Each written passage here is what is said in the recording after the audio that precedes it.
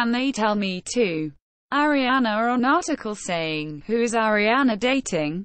American singer Ariana Grande. While replying to a recent article with a headline that read, Who is Ariana dating now?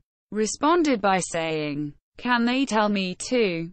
Quote, Spoiler for the rest of this year, probably my life. It's no one. Please refer back to this tweet for future questions, she wrote in another tweet. I'll be your sister for life. Dipika to Sreesanth post Bigg Boss win after winning Bigg Boss 12.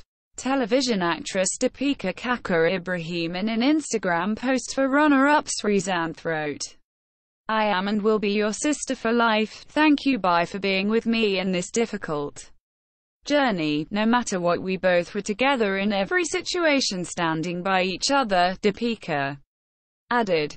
Ex-boyfriend used to beat me in front of my friends.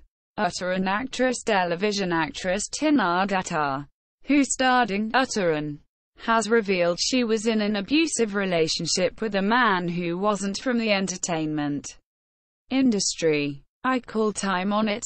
Because he was abusive, verbally and physically. I'd get bashed up even in front of my friends, she added.